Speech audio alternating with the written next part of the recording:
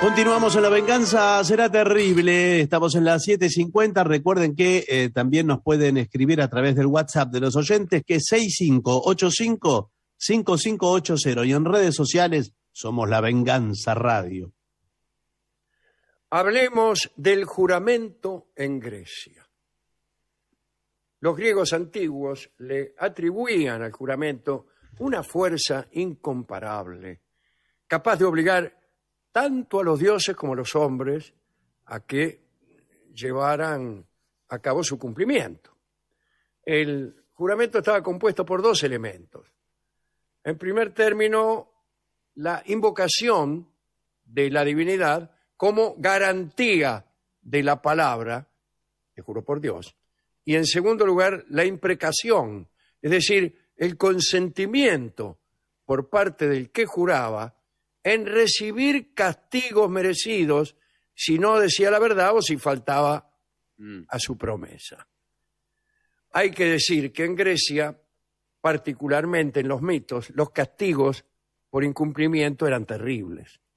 Tanto en Atenas como en Esparta, nadie podía desempeñar un empleo, ni ser soldado, ni gozar de los derechos de ciudadanía, sin someterse a la formalidad del juramento. En los asuntos criminales, por ejemplo, los sospechosos juraban con las manos extendidas sobre las entrañas de sus víctimas Mm. y así aseveraban sus afirmaciones. Esto eh, eh, contribuía incluso a la rapidez de los juicios, porque imagínese si usted tiene como norma formal el que los sospechosos juren sobre entrañas de las víctimas, bueno, hay que hacerlo rápido, imagínese. Sí. En otro orden de cosas, cuando un ateniense cumplía 20 años y no pertenecía a la categoría de los siervos, debía jurar fidelidad al Estado. Y aquí tengo en mi poder justamente, Sí.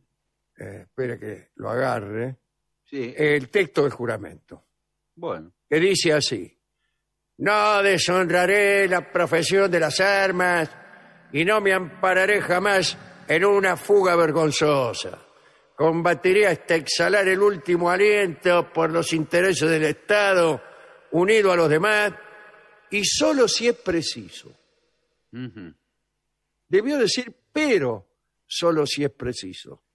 Claro, Claro. pero es fundamental esa aclaración. Pero es final. fundamental, Casi- porque casi- imagínense si uno tiene que hacerse matar de gusto, ya es demasiado. Hubo algunas formas de jurar muy extrañas. Citemos a Pitágoras, que juraba por el número 4, en el que él veía el símbolo de la divinidad. Los discípulos juraban por su maestro. Sócrates, por ejemplo, juraba por el amor y la amistad. Un juramento que más se parece a un brindis, ¿no es cierto? Sí, sí, es cierto. En los poemas homéricos, para solemnizar un juramento, se bebía, pero a veces se sacrificaba algún animal. Imagínense nosotros que estamos en contra de, de toda, de toda esa matanza.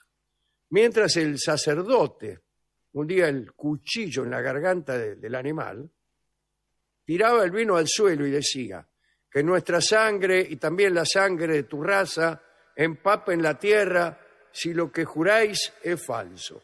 Y aparecía uno y juraba. ¿no? Además, quien infringía su juramento era considerado execrable y condenado a futuras venganzas de Zeus. Conocen ustedes las aguas del, del río Estige, ¿no? O Estigie, eh, que era un río del infierno y también una laguna. Este, esas aguas servían para pronunciar juramentos. Pero no tanto de la gente, sino los dioses también.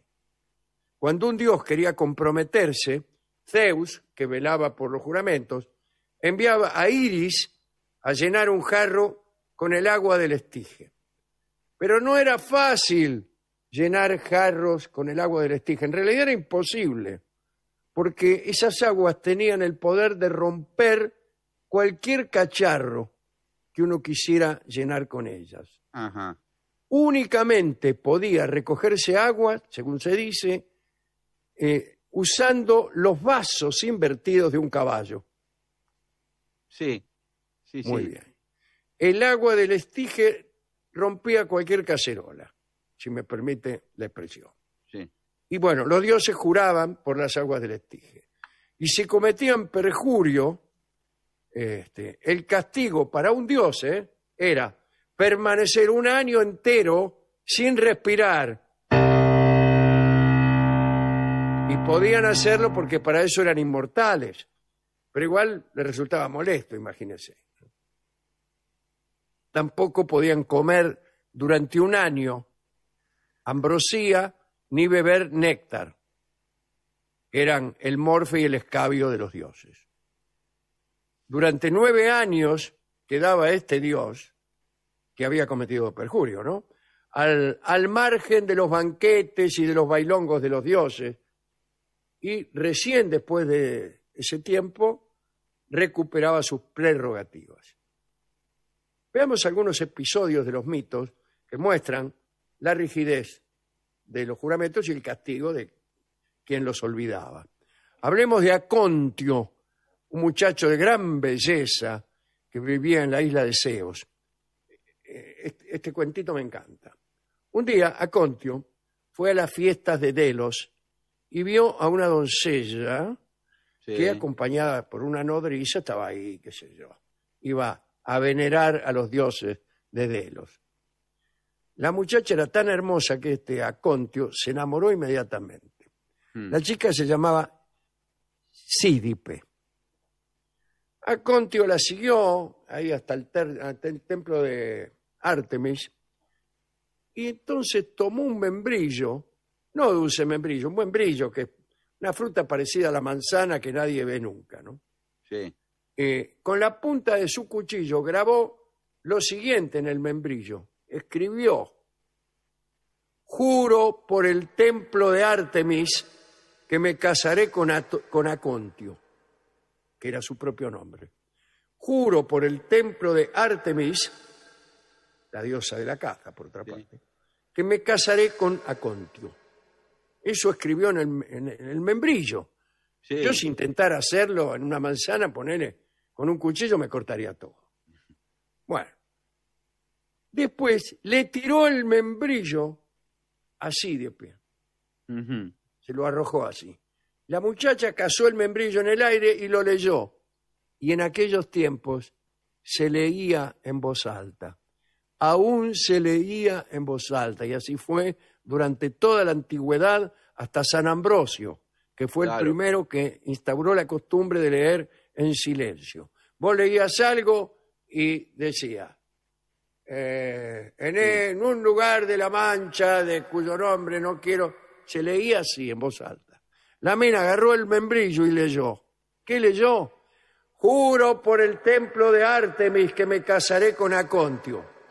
Lo dijo. Claro, lo juró. Y para peor lo leyó en el templo de Artemis. Cuando se dio cuenta, la mina tiró lejos el membrillo. Pero bueno, Hombre, ya había había jurado. jurado. Acontio regresó a su patria y allí vivió consumido de amor por la que él consideraba su prometida. Ahora bien, el padre de Sídipe pensaba casarla con otro. Y en ese momento es que intervino la diosa. Cuando se estaba por casar, Sídipe se enfermó de un misterioso mal. Se suspendió el casamiento, se curó. Otra vez quisieron casarla, otra vez se enfermó. Y así varias veces. Cada vez que anulaban el matrimonio o la ceremonia, Sídipe recuperaba la salud. El viejo le conseguía novio y la tipa se enfermaba.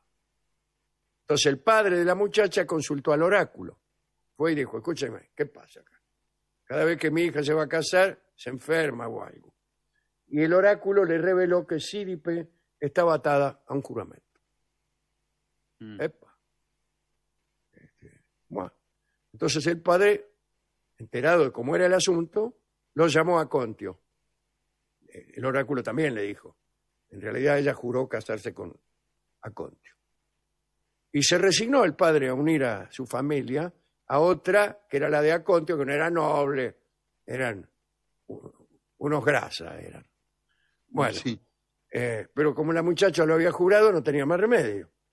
Y se casaron, probablemente no, no fueron felices, imagínense, pero esa es la historia. Este, porque el cumplimiento de un juramento no garantiza la, la felicidad, sino No. yo diría que más bien lo contrario. ¿no? Otro juramento fue el de Filoctetes, el arquero Filoctetes, no el arquero de fútbol, sino tipo que tiraba con arco. Tiene que ver con la muerte de Heracles. Heracles estaba muriendo consumido por aquella camisa envenenada, ¿no? Un centauro que le envenenó una camisa, se la mandó de regalo cuando Her- Heracles se lo puso, eh, empezó a arder por todas partes. Y entonces empezó a pedir a los gritos que lo mataran, que lo quemaran, que le prendieran fuego para, para morir. Y todos se negaron, imagínense, eran los amigos de Heracles. Pero todos menos Filoctetes, y este dijo, yo te voy a quemar. Juntó una rama y lo quemó. Como premio, Heracles le dio su arco y su flecha. Incluso antes de morir tuvo tiempo Heracles, mientras ardía, de hacerle jurar a Filoctetes que el único testigo de aquella muerte, eh, eh, que era él, no debía revelar en qué lugar eh, había sido quemado. Nunca reveles a nadie el emplazamiento de esta pira, dijo Heracles en llamas. Imagínense. Sí. Debió ser una escena digna de verse aquella. Eh, y le regaló el, el arco y las flechas. Pasó el tiempo eh, y la gente empezó a preguntarse dónde, dónde habría estado aquella, aquella pira. Y Filoctetes no se lo dijo a nadie, pero un día empezaron a insistir. Che, ¿de dónde sacaste este arco? ¿De dónde sacaste esta flecha? Me la dio Heracles. ¿y por qué te la dio? Y empezaron a sospechar que él sabía dónde está enterrado, dónde estuvo la pira, qué sé yo. El tipo no decía nada, pero al final, cansado de interrogatorios, caminó en silencio hasta el lugar donde había estado la pira y golpeó con el pie sin decir Sí. nada. Y todos supieron que era eh, allí donde había sido quemado Heracles. Filoctetes pensó que de este modo iba a eludir el castigo por no cumplir un juramento, pero no. Fue castigado con una dolorosa herida en el pie, el mismo pie que había utilizado para señalar el emplazamiento del fuego. La herida despedía un, un hedor insoportable. Por favor, se defectó. Sí, se le infectó. Y así estaba, no se le curó nunca. Llegó la guerra de Troya y él quería ir, pero no pudo llegar con los otros jefes porque todos lo abandonaban.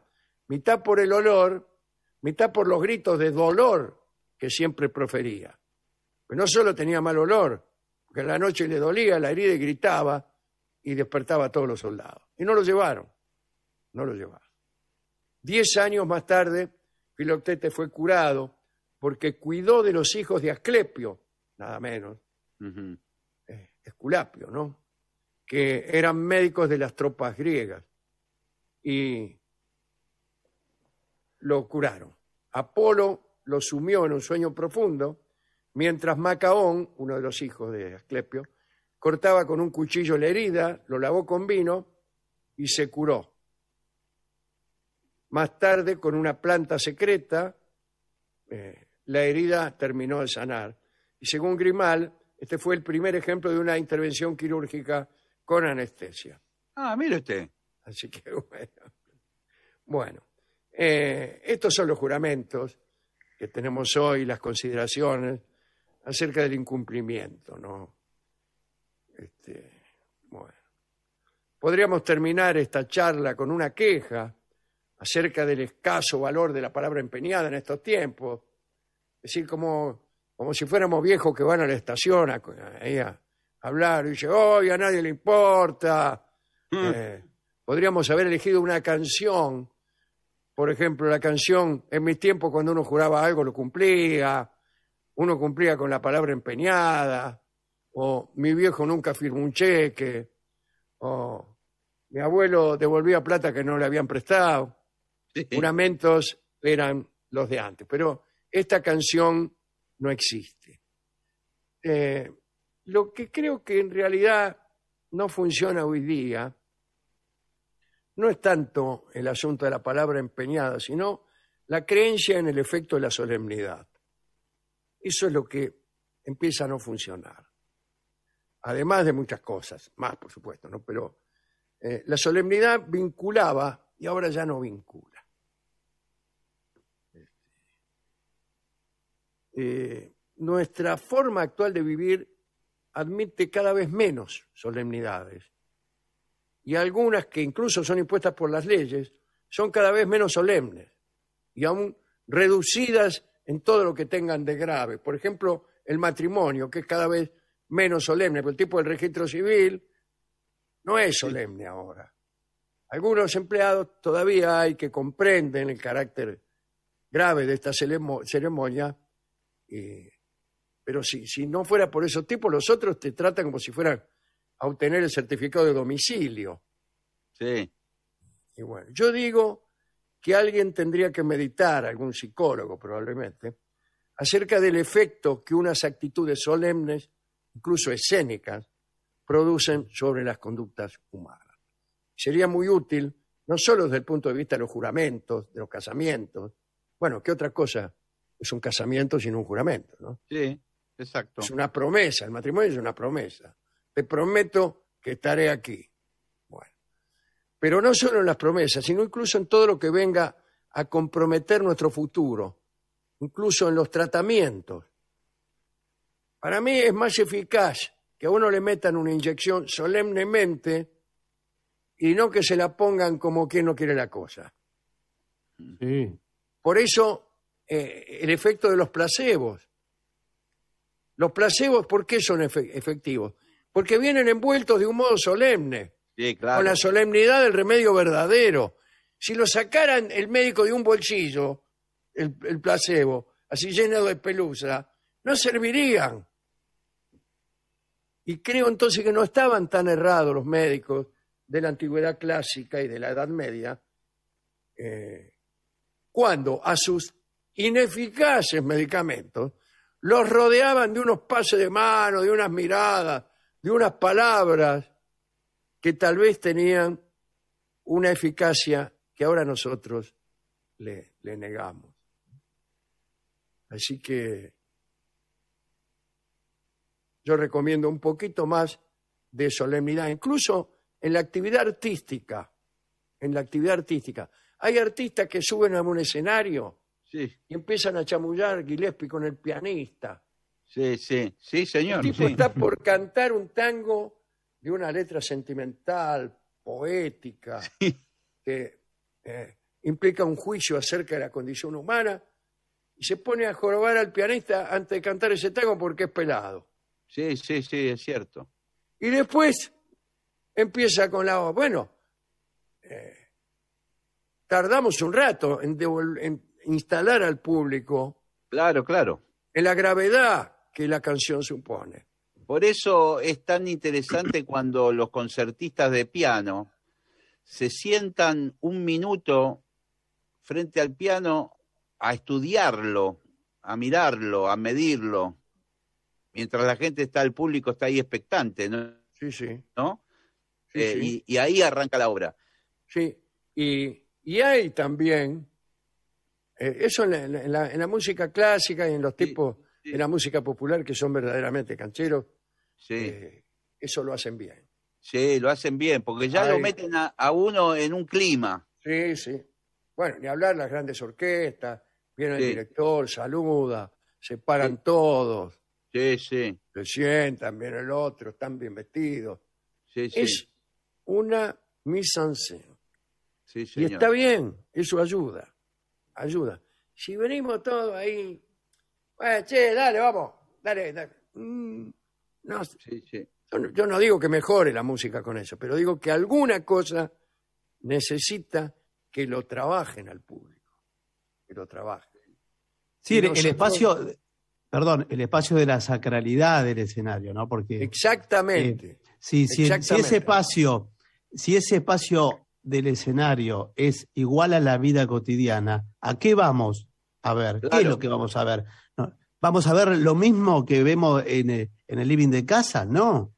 Bueno, sí. por eso algunos lugares en donde nosotros hemos hecho el programa de radio tenían esa posibilidad, la mayoría en realidad, Claro. esa posibilidad de desaparecer nosotros, no porque nos hiciéramos los difíciles, pero desaparecer un rato antes del programa de la vista del público. Sí, señor.